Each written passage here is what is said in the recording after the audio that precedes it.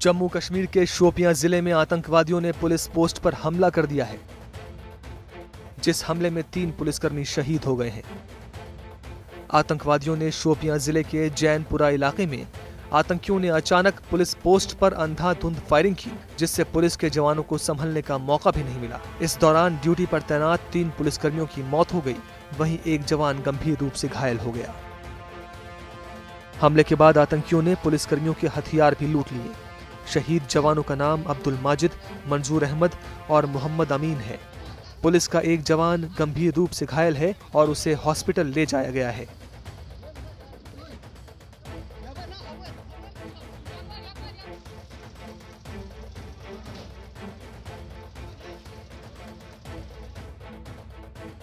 हमले के बाद सेना और सुरक्षा बलों ने पूरे इलाके की घेराबंदी करके हमलावरों के खिलाफ एक बड़ा अभियान शुरू किया है और पूरे इलाके में तलाशी अभियान जारी है ताकि हमलावरों का पता लगाया जा सके। जम्मू कश्मीर में आतंकी घटनाएँ लगातार बढ़ रही हैं। ऐसे में पाकिस्तान के पीएम का बयान भी कम चौंकाने वाला नहीं है। पाकिस्तान के प्रधानमंत्री इमरान खान ने हाल ही में जम्मू कश्मीर को पूर्ण सहयोग जारी रखने की बात कही थी।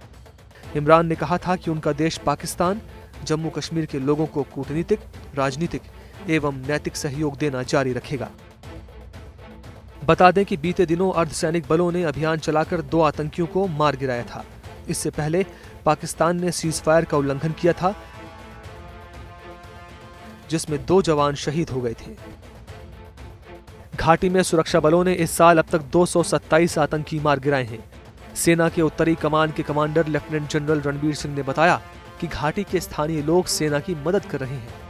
इसी का नतीजा है कि जवान बड़ी संख्या में आतंकियों को मार गिराने में कामयाब हुए हैं। 2017 में सेना ने 213 जबकि 2016 में 150 आतंकी ढेर किए थे। ब्यूरो रिपोर्ट, भारत तक।